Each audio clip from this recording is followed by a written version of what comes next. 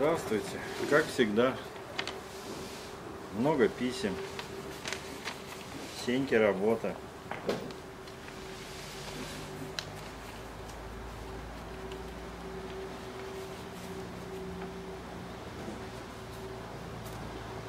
Нужно